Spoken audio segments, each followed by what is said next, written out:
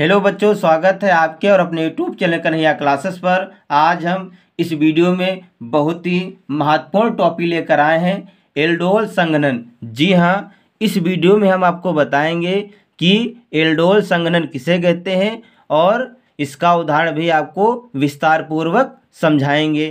तो सबसे पहले हेडिंग डालेंगे, एल्डोल संगनन।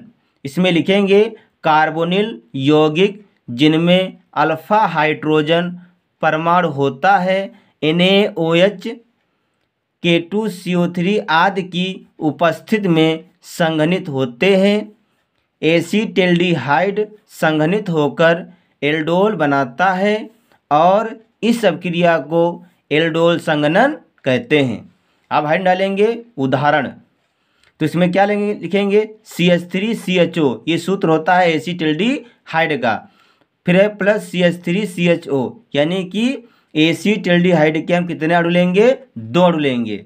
यहाँ पर भी लिखा है C H three C H O और plus C H three C H O तो हम कह सकते हैं यहाँ पर ए सी टेल्डिहाइड के दो अड़ू लेंगे और तनु ए ओ एच की उपस्थिति में गर्म करेंगे। तब क्या बनेगा? एल्डोल बनेगा।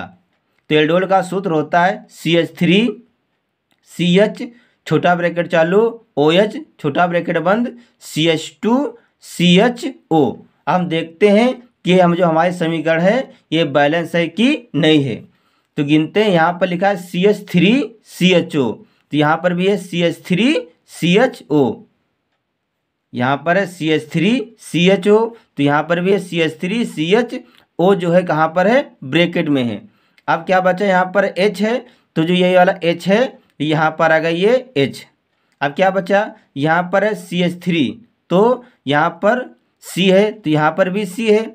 यहाँ पर एच थ्री यानी कि हाइड्रोजन के तीन अणु है तो यहाँ पर कितने हो निकाल लिए दो। कितना यहाँ पर बचा? एक हाइड्रोजन बचा। फिर क्या बचा? सी बचा, एक हाइड्रोजन बचा और एक ओ तो क्या लिख देंगे? सी एच ओ तो ये जो समीकरण है, इसके दोनों पक्ष आपस में बराबर हैं, इसलिए जो हमारे समीकरण है, ये सही है। अब उदाहरण नंबर दो देखिए, यहाँ पर C H three C O C H three यानी कि यहाँ पर भी एसीटोन के दो लेंगे और उसको तनु बेरिलियम हाइड्रा ऑक्साइड की उपस्थिति में गर्म करेंगे, तब क्या बनेगा? एल्डोल बनेगा। क्या बनेगा? एल्डोल बनेगा। अब देखते हैं कि ये जो समीकरण है, इसके दोनों पक्ष आपस में बराबर है कि नहीं? तो गिर लेते हैं। यहाँ पर सी एस थ्री यहाँ पर सी एस थ्री तो मैंने यहाँ पर लिख दिया C S three C S three अब यहाँ पर क्या है? सी है तो यहाँ पर भी क्या है? सी यहाँ पर क्या है? ओ ऑक्सीजन यहाँ पर छोटा ब्रैकेट चालू ओ अब क्या बचा? हाइड्रोजन तो जो एच थ्री है, इसमें से एक हाइड्रोजन निकल आएगा। तो यहाँ पर हो जाएगा एच तो यहाँ पर बन जाएगा ओ एच छोटा ब्रैकेट बंद कर देंगे। अब यहाँ पे क्या बचेगा? सी बचेगा और हाइड्रोजन के दौड़ बचेंगे। तो लिख देंगे सी एच टू और क्या बचा? सी ओ सी एच थ्री तो लिख दिया सी ओ सी एच थ्री तो जो दूसरी समीकरण है, इसके भी दोनों पक्ष आपस में बराबर हैं। तुम कह सकते हैं, जब एसीटोन के दो लेकर बेरियम हाइड्रोक्साइड की उपस्थिति में गर्म करते हैं, तब एल्डोल संगनन बनता है। तो बच्चों, अगर ये हमारा वीडियो आपको अच्छा लगे तो इसे लाइक, शेयर और सब्सक्राइब ज़रूर करें।